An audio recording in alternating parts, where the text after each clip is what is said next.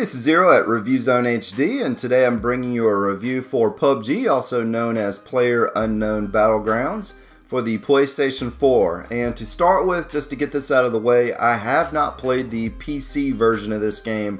However, in the 11 days that I've been playing this title, I have put 50 hours into it, so I feel like I have a pretty good grasp to review this one. The footage used in this video was from day 10 and 11 of me playing, mostly in squad.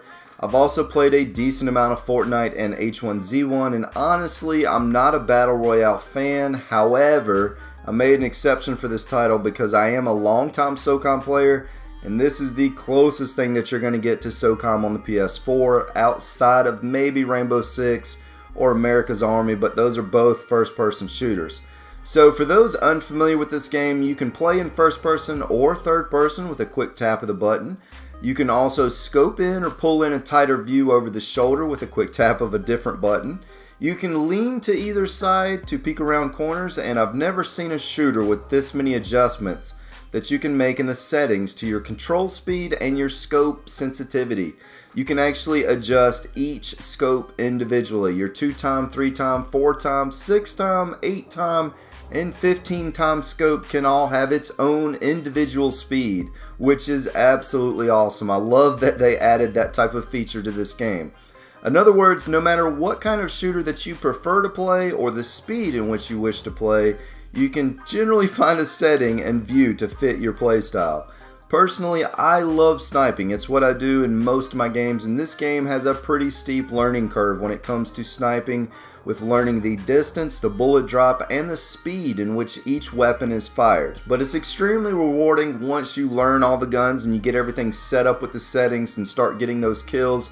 I would say this game is a lot more challenging than the other Battle Royale games that I've played you know, Fortnite has that building aspect, which is its own challenge, but as far as the actual gun game in each one of the Battle Royales, this one is extremely well done. It's the best in my opinion. Every attachment that you add to your gun, it really makes a difference that you can feel and see.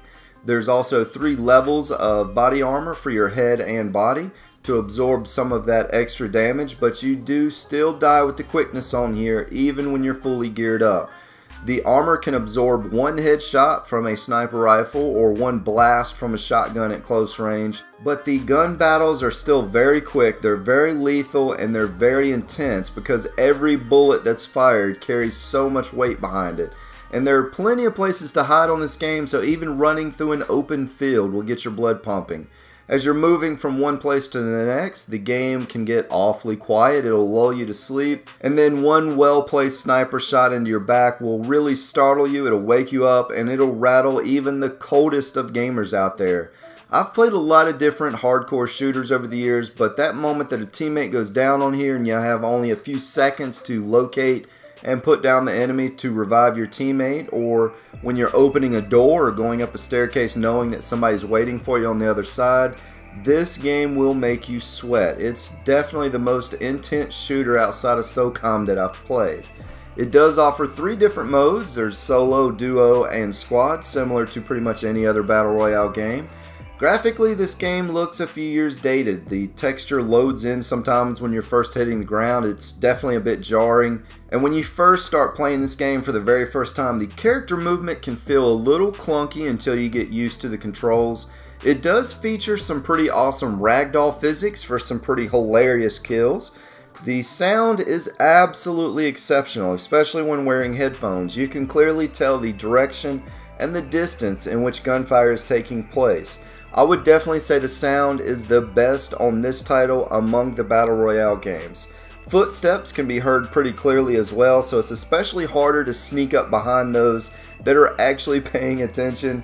Footsteps can be seen on the snow map, which that map just released a few days ago. In total, there's four maps to currently play on. There's a large grassy style map, a large desert style map, a smaller jungle map, which is my personal favorite, and then there's a medium sized snow map.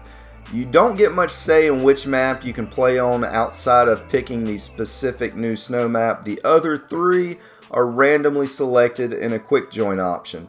I know everyone has their own taste and preference when it comes to shooters. I've played every type of shooter there is to offer on the PS4 and in my opinion, again, just to re-emphasize this, This is the best of the bunch for tactical and intense gameplay.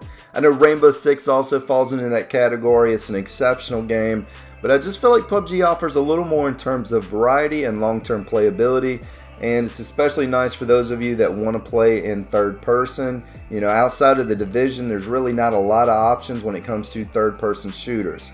And yes, it does have silly cosmetic add-ons similar to either one of the two games I just named out.